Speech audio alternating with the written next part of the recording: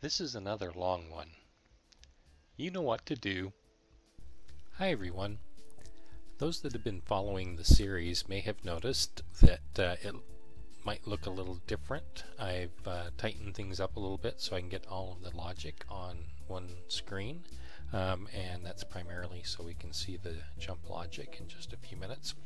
Um, having said that, I think with one more uh, small demonstration program, uh, I'll have demonstrated all of the capabilities that this CPU currently can uh, do and uh, so let's uh, just get right into it.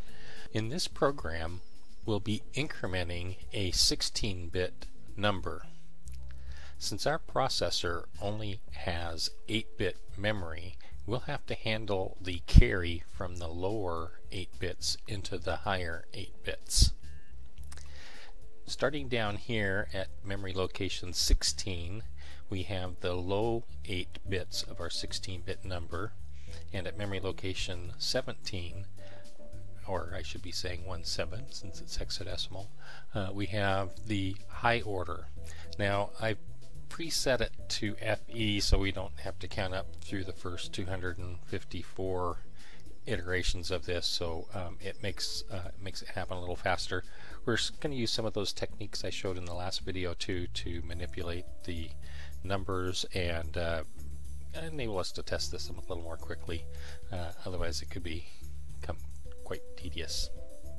So uh, beginning at the address 0 we load the A register with the low order 8 bits and then uh, we're using a new instruction to add an immediate value which is going to be a 0 1 to the accumulator and then automatically store the results back in the accumulator.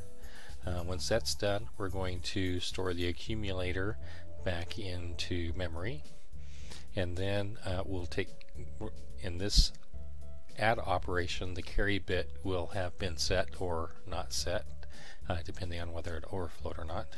So in uh, beginning at uh, address 6 we're going to take care of the high order 8 bits by loading the number into the accumulator and then we're just adding with carry a 0.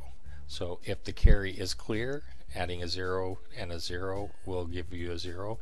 If the carry was set then we're going to add a 0, a 0, and the carry, and we'll get a 1 output, which will uh, accomplish what we need when the carry is set. Then we save those results in the high order here, and we output it to the display register just so we can watch what's going on.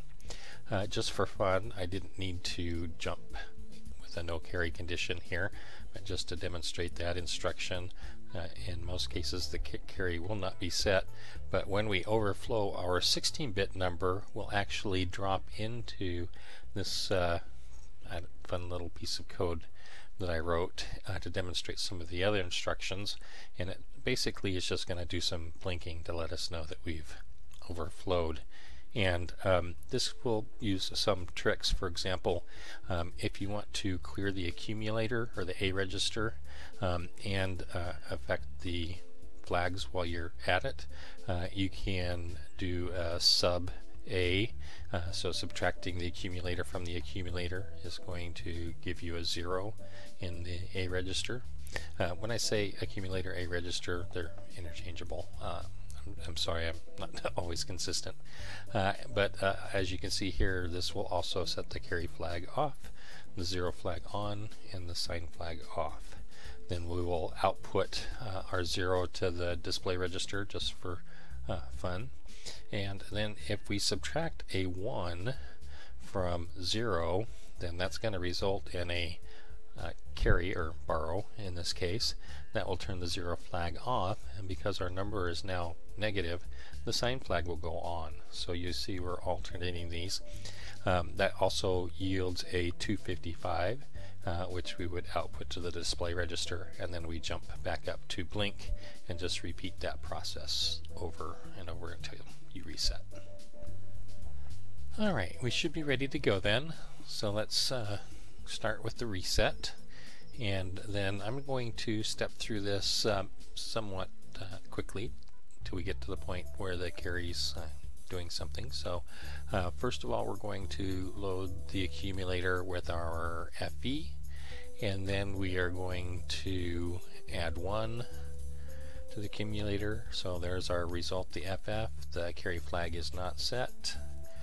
We'll save that in memory. Now uh, we're going to do the high byte, so we'll load the accumulator with that, which is a zero. Now we're going to add a zero and the carry is clear, so we should get a zero for our answer, and we did. We're going to save that.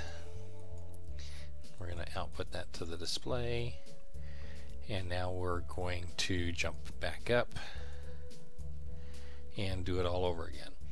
So this time when we load the accumulator we'll get the FF and now we're going to add 1 we should get a 0 but the carry notice the carry flag is set now. So we need to save that result. And now we're ready to do the high byte. We're going to load that into the accumulator. It's still 0 at this point. And now when we add our 0 and 0 with the carry flag set, we'll get a 1. We'll go ahead and save that in memory, and then we'll output that to the display. Now we're ready to jump back up and do it all over again, and if I actually hit run at this point, um, we'll see very slowly we progress towards um, the next time this is going to roll over.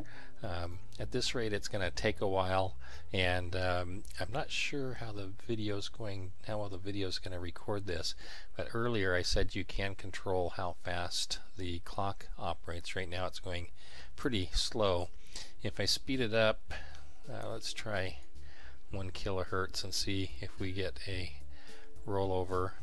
It's really hard to see. If you watch down here in the RAM you can see the numbers incrementing but it doesn't show the whole range of memory so it jumps around it makes it uh, somewhat difficult. Yeah we still haven't got a rollover so if we speed it up just a little more all the way up to the maximum we should see there. We got a rollover and every every few seconds we see it count. Each time it counts that's 256 times through the lower 8 bits. So uh, that's still pretty good for uh, simulator. So um, I'm going to go ahead and stop it here and uh, slow that clock back down to a less migraine inducing rate. There we go. So I'm going to um, help speed things along here a little bit and uh, I'm going to modify the memory. Oops, I didn't want to do that. I want to edit. And uh, the number that it's displaying, we see the 6 is here. So if I go ahead and set that to FE, this is the high order 8 bits. That's going to gener generate a carry uh, pretty quickly. Actually, let's set it to FF so we can get our, uh, we're up to FF and our low order is up to 9B, so it shouldn't take us too long to count up to that and get our overflow. So um, we can even speed it up a little faster. Let's uh, put an F0 in there. So we're, we're only 15 away from overflowing. So we'll close the window. We'll go ahead and resume running. Uh, shortly we'll see the display update.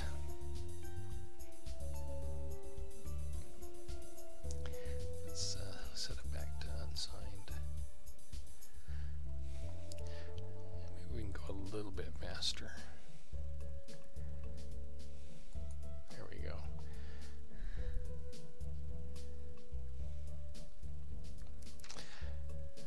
So we'll have to go through a few more counts before it starts alternating.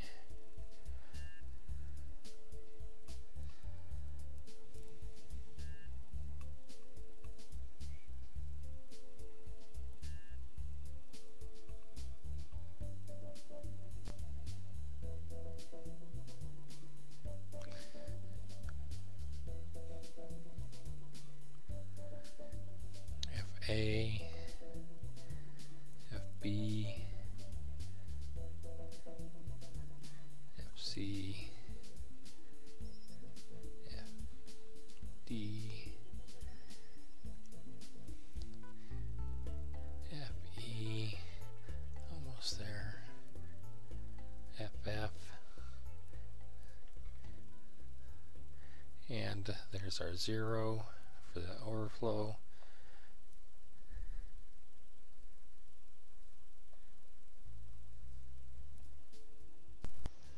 All of this content is available on my GitHub repository. If you've enjoyed this, please hit the like button, subscribe, and hit the bell to be notified of future videos in this series. And as always, thanks for watching.